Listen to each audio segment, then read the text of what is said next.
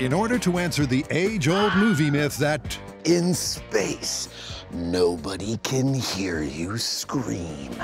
Allie, Rachel, and Cannan 25 inches of mercury at 51 dB. Cool. are waiting for their vacuum chamber to hit 29.92 inches of mercury. And it's taking a while. I could fall asleep. Patience, my Padawan. I don't have patience. it's one of my talents. The final few inches take the longest because the pressure decreases exponentially. From the last reading 28 inches of mercury. until the vacuum is as close to perfect as they can get, Captain Raspberry has ascended from the peak of Everest to approximately 18 miles above sea level. It's as close to space as he's ever going to get.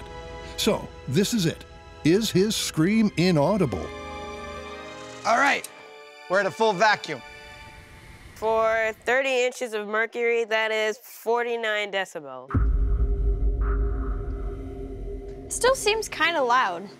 Well, the whoopee cushion isn't moving anymore, and there's no air in the chamber. The sound has to be coming from somewhere. Yeah, that's weird, isn't it? You know what it is? It's the motor. I can feel it vibrating and hitching under my fingers. Our microphone is picking up more than just a scream. There are two spikes, the sound of the scream and the sound of the motor. And when we're at a full vacuum, the sound of the scream goes away. Yep, there is no scream in the vacuum chamber.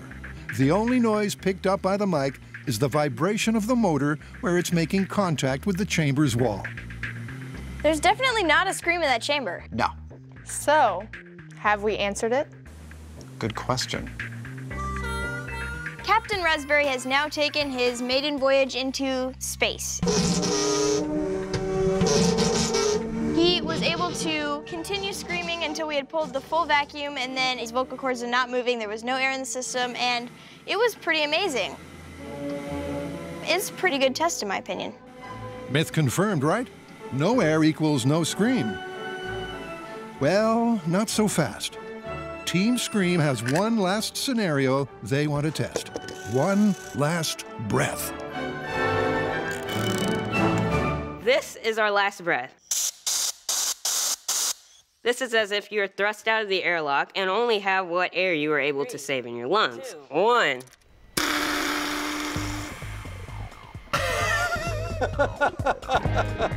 Our lung is played by this bicycle inner tube. Once filled with air and under a full vacuum, the breath will be released. Did you get it? Yeah, I got it. Okay. Send that to the. Wow, that's terrifying. It should answer the question whether in space no one can hear you scream. Team Scream has already proven that with no medium to carry sound, It's like a new instrument. There is no sound. Here we go. All right, let's vacuum this puppy up. I think we're ready to turn this on. The previous test removed all the air from the system, All right, we're going on to 10 inches of mercury. and the result was as expected. But this time, the unlucky astronaut Adam looks very happy floating around in space. is jettisoned into space while holding one last lungful of air. Are we there yet? Hey man, don't try that. I will turn this car right around. we're almost there. To simulate that, the team will bring the chamber to a vacuum with that one last breath intact and then let him scream. We are at 29 and a half. This is perfect. My experimental astronaut is holding his last breath. Allie, you want to call it in? Yeah. All right. Hey, Cannan, are you ready? I'm ready. Recording. All right, this is last breath in space, Adam Whoopee cushion test in three, two, one.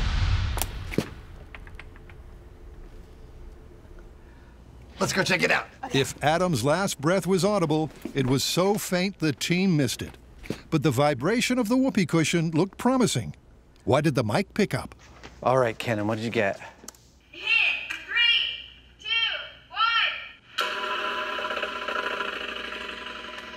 That's a sound. That actually sounds like a fart. Like a last dying fart in space. That's a result. Well done. Thank you. Outstanding.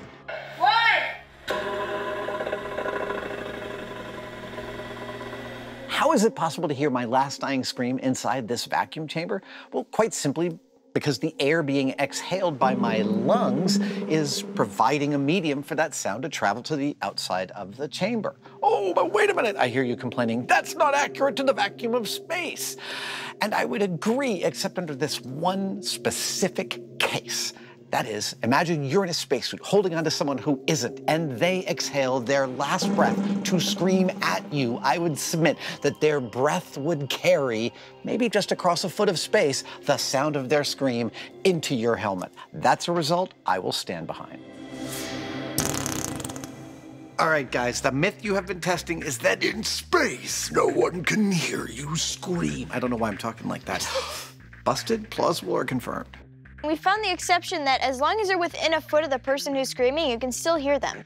That would mean it's busted. Busted. Busted.